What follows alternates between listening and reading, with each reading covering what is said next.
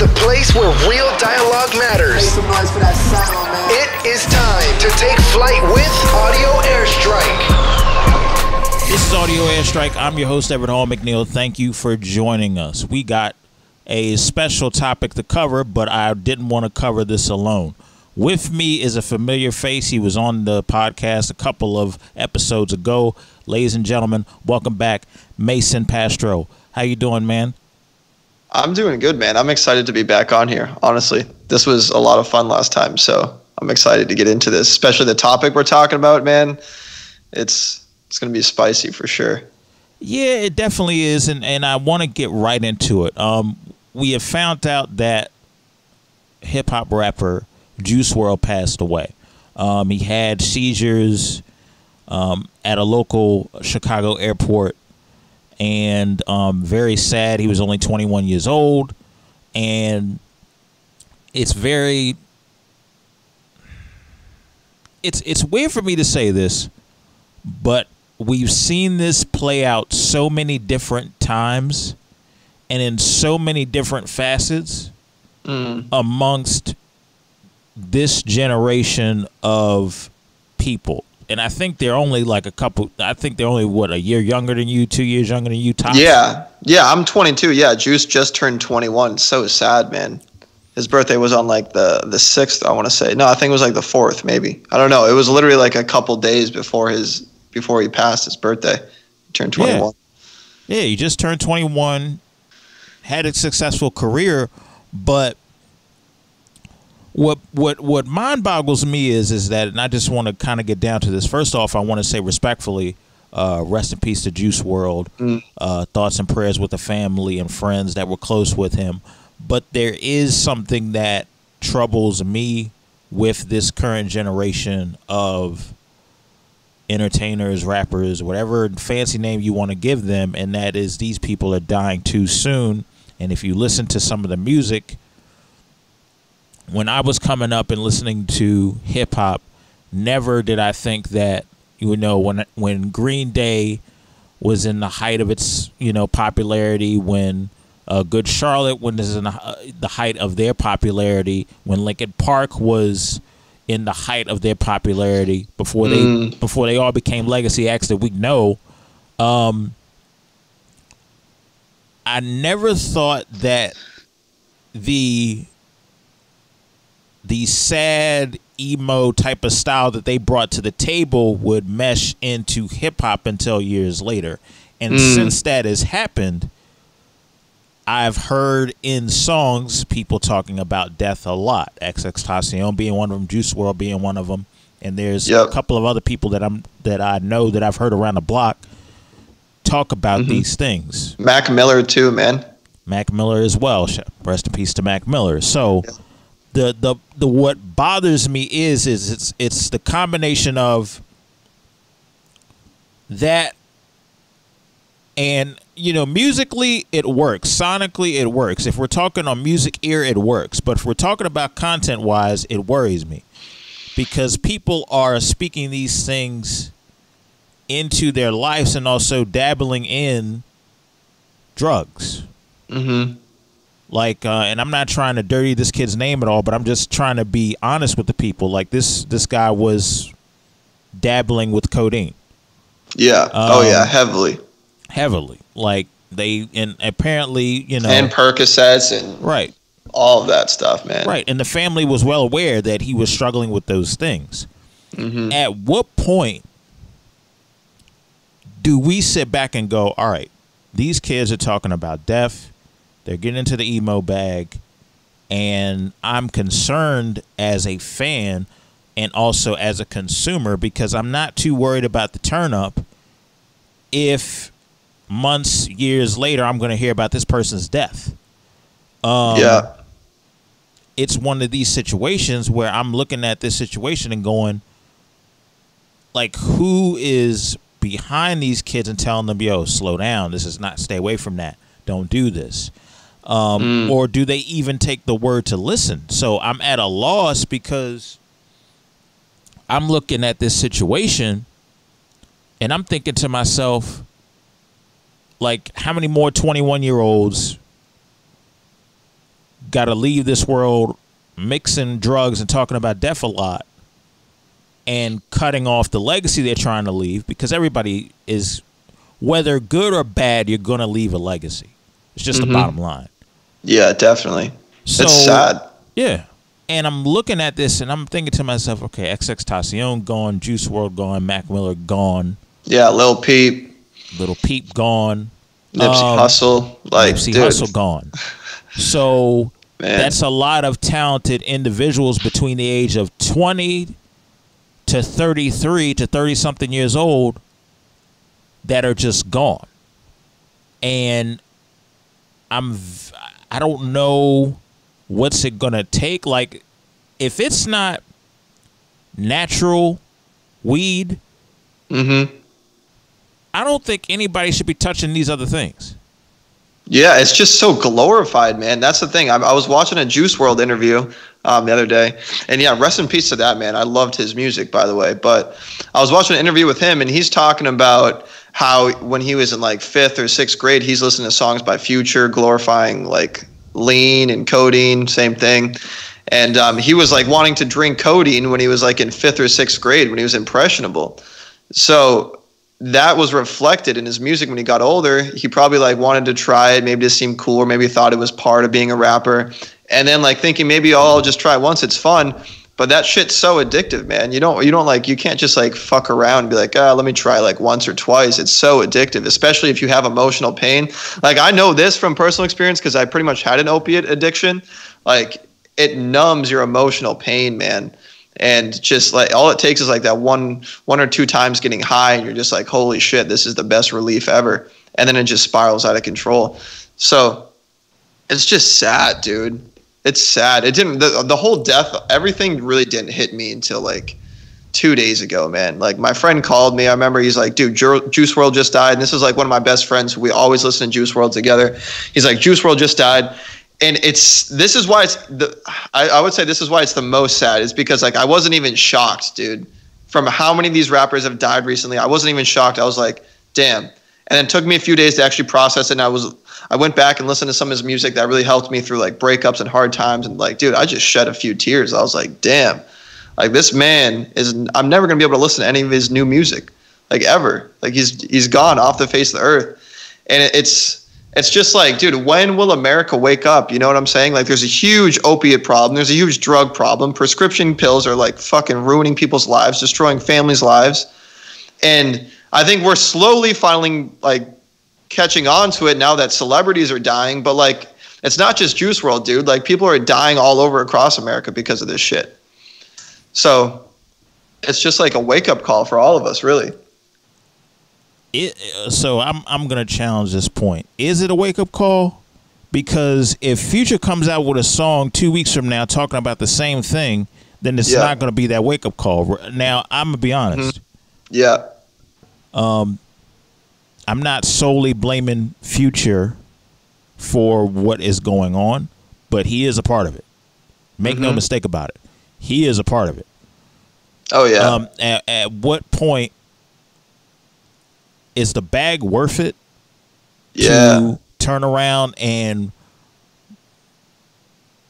promote this drug that is killing young people at an alarming rate. Like, what is the point? The pop pills and perks and this and that. Um, I don't agree with it. It's something that is ravaging communities, and it does. And I'm not talking about just inner city communities. I'm talking about the little suburbia towns that look nice on the outside, but you go in somebody's house, you really see what's up. Mhm. Um, yeah. and it's ravaging everybody, no matter race, class, or whatnot. So, Mhm. at what point and what steps are we finally gonna take to take a step back and be like, okay, we're losing people that are barely turning 21. Like this is becoming a lot, and I'm looking at the music, and I see his music and other people's music that of all the names we just mentioned, and some of those songs are a cry for help. I was just thinking the exact same thing, man. They really are a cry for help. It's sad, dude. You listen, you listen back to some like some of the songs. Is like, especially the one he made after X died, and he made it about Peep and X. He's like, all legends fall in the making. And he said, and he says, what's the 27 club? We're not making it past 21. And he literally died after he turned 21. And oh my God, man. And uh, uh, per your point, dude, it's like, at what point is the money worth it, right? Because it's the the music industry seems kind of fucked. Like I don't know much about it because I've never like had my hands in the actual industry. I just I'm just a consumer, right? But it seems to me that what really sells, of course, is like talking about partying and drugs and women and money and all of that shit because it sells, right? And then you throw in the mix of like sad emotion, like wanting to die in there. It's like now you have shit that sells, but it's also like promoting like being depressed. And it's like almost come like kind of become like a trend to just be like depressed. It's so strange. What what's sick about it is is that mental health has become a big topic now and you have this industry depending on which artist exploiting mental health in songs that maybe are not dealing with mental health as much as an actual person Mm-hmm. that deals with mental health heavier. And I'm not trying to say which flaw is more greater. I'm just saying that we have people out here that behind closed doors, wearing suits and ties, exploiting mental health, addiction, and stuff and whatnot. And then making this person that is talented the face of those things the face tats, the colorful clothes, Yeah. the, you know, the grimy behavior at times, the antics. I'm just I'm just generalizing what we've seen over the past five or so years. This is what we have seen. And the second that that person gets in trouble, or the second that that person has to answer for his problems, now nobody wants to be the big bro anymore. Nobody wants to be that uh, person that says, "Yo, you shouldn't be doing that."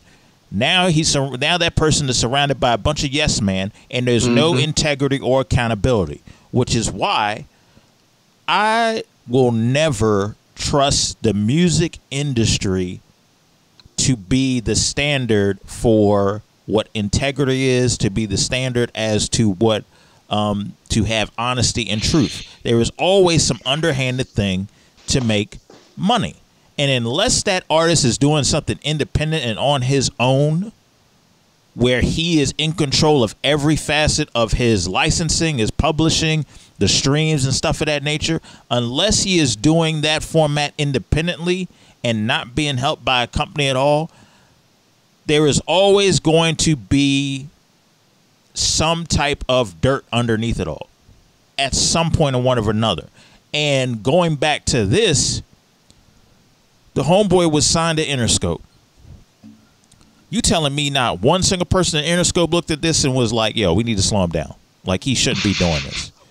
Like you telling me one person didn't stand back and was like, look, bro, you are you just turned 21, you just turned 20, you just turned 19.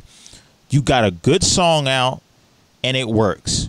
But I Yeah. think that you're rolling too fast in terms of the drug use, in terms of the partying. Like, yo, you taking yourself out. You're going the same damn road that everybody else is going down. Let's mm-hmm. try to figure out a way. You can still, you can be yourself. Nobody's saying you got to switch up and be somebody or not. But we're trying to make sure that you have longevity in your career, and that's the problem. These companies, these people that they bring themselves around because they want to quote unquote make it, mm-hmm. they are willing to sacrifice their own self destruction for the fame. And I'm not saying Juice WRLD does that. I'm speaking generally about how this music industry is.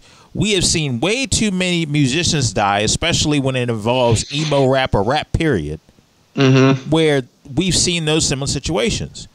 Nipsey was very the most independent out of all of them, and that was a different thing because of jealousy and whatnot. Which I ain't gonna go into that now because that's not the topic. Mm-hmm. When it comes to Juice WRLD, you're telling me that nobody, nobody in Interscope said, "Hey, let me pull you to the side and help you to navigate this better." I don't understand that, man. Honestly, like, dude, Juice for me, his I love the way that he was starting to bridge. Like, I don't know, man. You got Lil Peep, who I loved his music, but it was sad because I didn't start listening to Peep until after he passed, so I felt kind of guilty about that, right? But then X, I absolutely loved X. People call, I don't know how you feel about this. How do you feel about like people calling X the Tupac of our generation? That was like a bold claim I heard. But I also shed some tears when X died, man. And he died on my 21st birthday. But Mm. I'm curious how you feel about that. People saying that X was the Tupac of our generation. Because like he was killed in like a hit and run, similar to I guess how Pac died. But I'll I'll say this. Um, I feel like people. So, how old was X when he passed? I want to say he was 20. I want to say he So- was just turned 20. To the 19 year old now, mm-hmm. in their head at 19, I could understand why they would say that. Yeah. To a 29 year old me, mm-hmm. that is coming from a slightly different generation, I would call it a, a reach. Like my impulse would be, okay, that's a reach. You wasn't around when Tupac was living. You don't know the impact. You're 19. Stop Yeah, it. yeah. Like that is my instinct. hmm You know, I was six years old when Tupac passed. So even my perspective is limited. You would have to Right. go even older than me. Mm. Somebody who was a teenager or somebody who's in their 20s when Tupac passed. So when how I feel about them saying that, I don't have a problem with that because they're 19. So to them, the music that they're listening to is a different catalog than the music that I'm listening to. And there Yeah. are some things that I'm not going to rock with that they would rock with. So I Man, don't have X- a, I don't have a problem with it. I think I think the reason that comparison was made is not just because like he was killed in like a hit and run type scenario, but X in his music and especially on social media was just on some different shit, man. I don't know how to explain it, but he understood something that most music like he wasn't just in it for like the money or the fame or anything. Like at least from my understanding, I don't know much about X's whole story, but I, I'm from my understanding, he came out of prison and was like blowing up while he was in prison. That song "Look at Me" was blowing up while he was in prison, and he came out and just like the album 17, dude, was just experimental, fucking amazing, and like him sharing his raw feelings and going on social media and explaining to like his listeners and his fans and saying like, guys, I made this because like I'm just being true to myself. I'm not. I don't care what's gonna fucking sell or anything. And what's funny is it did did end up selling. So X is interesting because he didn't glorify, at least from my perspective, he didn't glorify drugs as much as Juice did. But both of them glorified kind of death and like depression and like that angst that really spoke to the younger generation. I feel like definitely spoke to me. But like X, at least X, he was like creating a movement, man. He was creating a movement, and then he was just boom wiped out. Juice, I don't know, like I kind of put them in different buckets in my mind. Like they both like kind of spoke about similar topics, but like Juice was more kind of like, okay, I'm sad and I'm like using drugs to like cope with that. X to me was like, I'm sad, but like I'm speaking to the generation to let them know that they're not alone in the shit that they're going through. Juice was kind of just speaking more about his personal struggle. Je- X was like his personal struggle and then like relating it back to the audience. So you felt like it was more of a movement with X, where Juice WRLD was just kind of, it was kind of like I'm explaining to you what I'm going through to get it out. Yeah, man. And if I'm being honest, I mean, I didn't listen to Juice's latest album as much as I listened to Goodbye and Good Riddance. His his first mixtape he dropped, which I absolutely loved. Like every single track on there is just amazing. But yeah, I mean, f- from from my personal perspective, how I feel is like you can even see this in the screenshot of the song um, "Legends" that Juice Juice made. Right, the album artwork is actually a conversation with him and X, and this is so interesting because you can see it's like an Instagram DM conversation, and Juice is like giving him some praise or whatever, and X says to him, he says, "Keep doing you, bro. Just be careful what you manifest." Like X knew something that Juice didn't. X knew something about his power, like something. He was tapped into something, dude. There's a bunch of like conspiracies about the Illuminati and shit. I don't want to get into that. But like X knew something and was pretty much telling Juice, like, hey, dude, I see you're on the same wave as me. You're gaining traction. Like you're like your voice is being heard. You're getting power. Like you're speaking to kids. Just be careful what you manifest. And obviously, he ended up like fuck. He literally manifested. Like if you listen to Juice's music, dude, he literally manifested his own death. and X like knew that. X knew that shit was coming. So I just think that's so interesting. It's like X was just tapped into something. I don't know if it was like spiritual or like he just felt something different.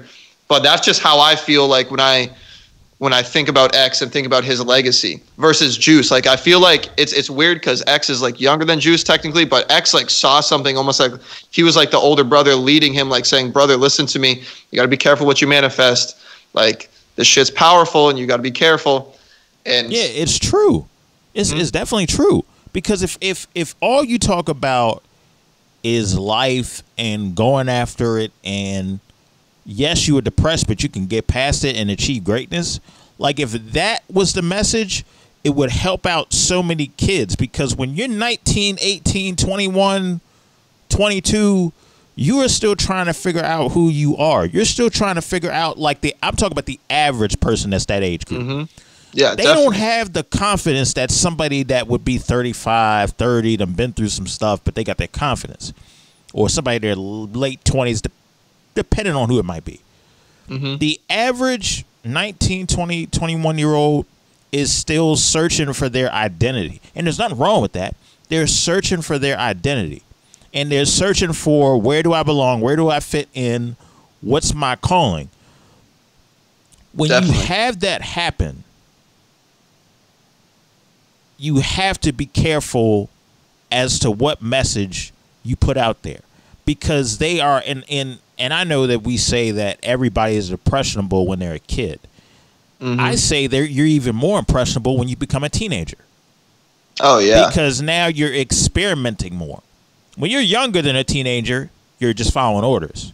Because you ain't trying to mm-hmm. get in trouble. Yep, when you're like 13 14 15 you feel your parents are like all right you're slightly older to the point there's certain stuff i can't tell you. You're just going to have to experience it. And so you're kind of now in the experimentation phase. Yeah. You are going to turn around and you know be like all right let me try to figure out i have all these questions. Where do i belong? Where do i go from here? And anybody can influence you at that point so X being aware of what his influence was mm-hmm. and knowing that his influence would spawn more of this sound that would inspire the Juice WRLDs and Little Peeps and other people that were coming around him and stuff of that nature.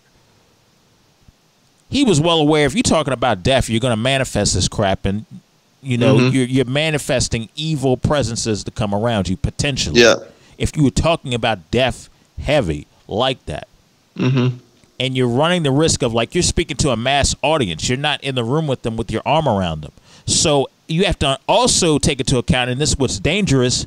Not everybody takes the same message the same. If a pastor gets on the pulpit tomorrow and says a sermon, it's going to hit about the 100 to 200 people that are in the audience. It's going to hit everybody differently because mm-hmm. everybody's in a different phase in their life. So that is one of the dangers. So for him to tell Juice WRLD in a DM, be careful what you manifest, I think he turned around and knew all of these nuances, these possibilities that would happen, which Yeah. is crazy he was tapped into something, dude. because he was tapped into something. My thing is, I just hope he was tapped into the right thing and not the wrong thing. Mm-hmm.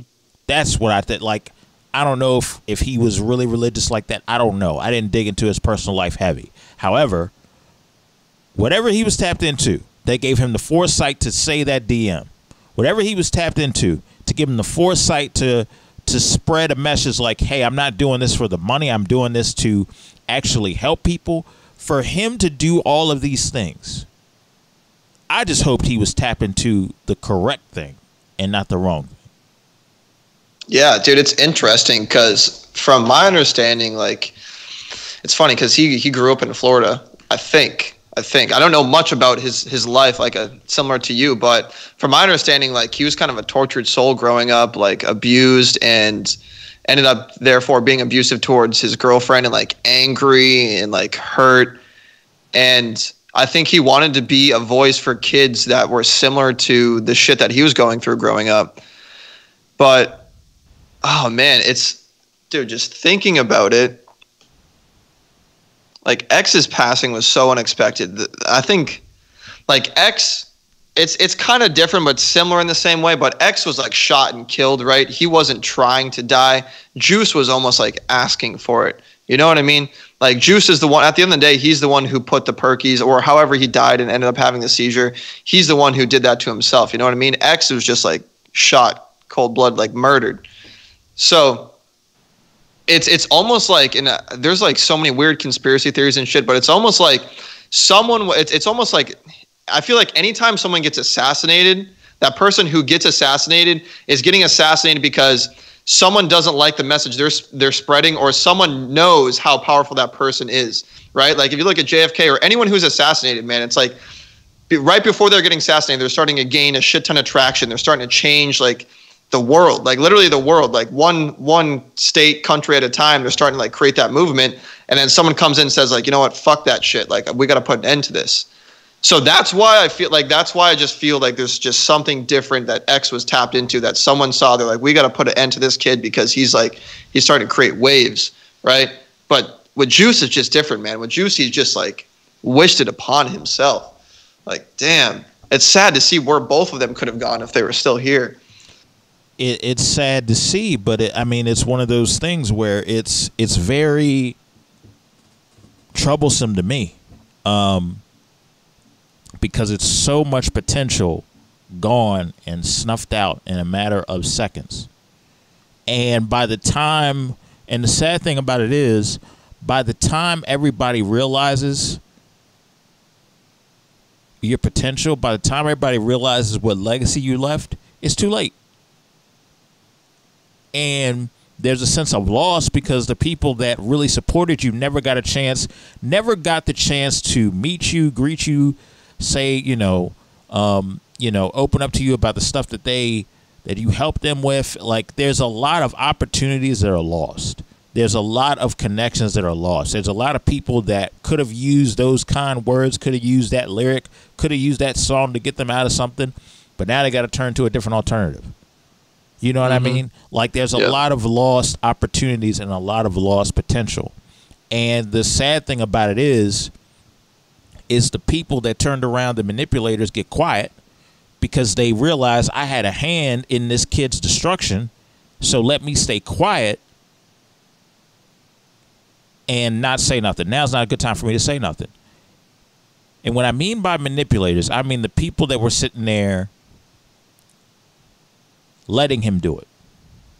Yeah. Not pulling him aside and being like, hey, man, watch out for this. Do this. Don't do that. This is what pisses me off because I'm like, who who is going to be that person that stands up and says, "Yo, you shouldn't be doing this." But at the same time, and this is where I challenge the younger generation. I'm not I'm not picking on them cuz this ain't the generation to be picking on people. Not with all this mental health talk going on. I'm not doing that. But we I think when it comes to older generations, we need to figure out how to speak to the younger generation and just try to figure out their language because every every generation speaks a different language and my mm-hmm. that's just me yeah i, th- I, I feel think, that I, I think every generation speaks a different language like my generation may be speaking a language that is similar but slightly different than yours. Mm. If that makes sense. Yeah, we're the we're the '90s kids. Mm-hmm. You're like late '90s, late '97 kids.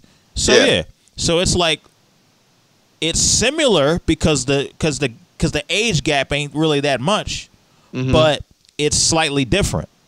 Mm-hmm. So for sure, if if there's a way that we could really come together, have an open forum, not like not be quick to bash the younger generation, but just be like, all right, you talk. I just want to see how you're feeling. Talk.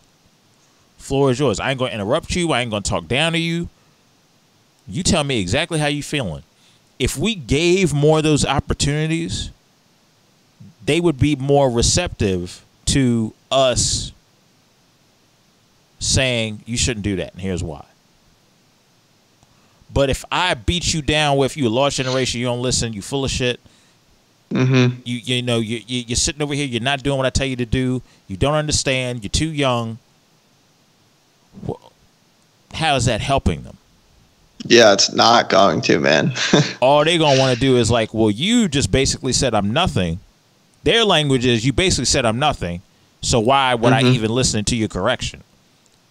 There's a difference with that than, hey, I'm gonna let you when you got a problem, I'm gonna let you talk, and then we're gonna figure it out together. Who do you think they're gonna be more receptive to? The person that is letting them have a voice. So if their parents are not letting them have a voice in the home, or they're abusive to the point where their childhood is stripped away, similar to X's uh, background, mm-hmm. where do you think they're gonna go to get the influence? It ain't gonna be the parents, and it ain't gonna be a and ain't and anybody who is an image of their parents. I'm talking. I'm not just talking about where they come from. I'm talking about the age group as well. If they're a certain age group, they ain't listening to you. You want to know why? Because that age group reminds them of their parents that weren't there for them. So they ain't gonna listen. Guess who they gonna listen to? The age group that looked out for them or that is looking out for them in their own way Mm. Yeah. in a language they understand so that's kind of like like psychologically and and socially we gotta we gotta get to that point where we understand that not everybody is going to speak the exact same language you're different with you're dealing with a, a different generation my generation we didn't we didn't grow up with touch screens and iPads. We saw it's weird because we didn't grow up with it, but as we got older, we saw it immersed into society. Now we got a Mhm. generation, and then you know you kind of you kind of came in at the tail end of that, and then the generation Yeah. behind you grew up in Grew up full blown social media era. So that's three different languages. Yeah. You know, we look like the old heads if we pull out a VHS tape. Dude, yeah, I still remember VHS too. But Yeah. that was I, that was only for like a few years, right? And then it was straight to like CDs and DVDs and shit. Yeah, and for me. then and now we're the and now we're in a position where if you got a DVD, they're looking at you nuts. So Yeah, yeah. you know, it's it's all those different languages can help each other out Oh yeah. because all of those different languages are struggling with mental health. All of them. Yeah, man. I like think social media yeah. just like accelerated the fuck out of everything, right? Because like mental health's always been a thing, but I think social media and musicians and like it just kind of created its it's kind of created its own culture almost, and that's like accelerated. Well, I'm like glad that people feel more open and like they can talk about it, but it's like almost kind of like almost speaking to the younger kids, saying like you should be sad. You- I'm just saying from personal experience how I felt listening to Juice's music. I'd actually stop listening to his music. Like I love his music, but if I would like, for example, if I was having a good day and I put on a Juice track right now, it'd probably start to get me in my feelings. Probably start to get me like thinking about my ex girl and shit, and like, and I, I did. I've dealt with most of that. I don't want to like. I want to listen to shit that's gonna put me in a good mood. You know what I'm saying? So Yeah, because what you realize is is that songs that are recorded and released, the artist was in that's a time capsule where that artist was at that time. yeah, That everybody can sympathize with. So if if you catch that at the wrong time, it could put you at the wrong mindset at the wrong time Mhm. to the point it could spark a depression to the point it could spark this so you having to you know not listen to Juice WRLD anymore it makes sense because they were like there were some songs i played a song on soundcloud to really get down to the nitty gritty of what his music was Mm-hmm. by the time i got to one track where he was talking about smoke with me pop pills with me this and that like partake in what i'm doing to destroy myself i couldn't listen to it yeah. because Well, because you know the difference too, Yeah. right? Like you know, like how a certain music makes you feel. But I'm talking about like, let's say like a kid in seventh grade, right? And and like, let's say they're they just listen to what's like mainstream. And if like Lucid They- Dreams was a mainstream song, they're like, oh, well, this is how I find an artist because they don't really know the difference of like how music makes them feel like energetically and that shit, which you Right. get to like understand as you get older. So they're just like, oh, let me just listen this over and over again. And then they start to like idolize that dude almost. Like I remember for me personally, I almost kind of like idolized being a sad boy. I was like, yeah, this is me. I identify with this. This is me. Until I started going through sobriety and like cleaning my life up and shit, I didn't identify with this much anymore and I stopped listening to his music. But like for someone that's cuz like I'm older and started thinking for myself, right? But like younger kids, they don't really know the difference, man. So it's like It's It if the beat them. yeah, if the beat drops, it's a nice beat. I'm listening to it, I'm dancing to it. I was 17, I was 17, 18 too at one point. That's all I cared about. Mm-hmm. yeah. But it ain't until you get older, you you hearing it, it's like, wait a minute. These lyrics saying what? Oh Yeah. hell no, we can't be having this up in here. Like yeah.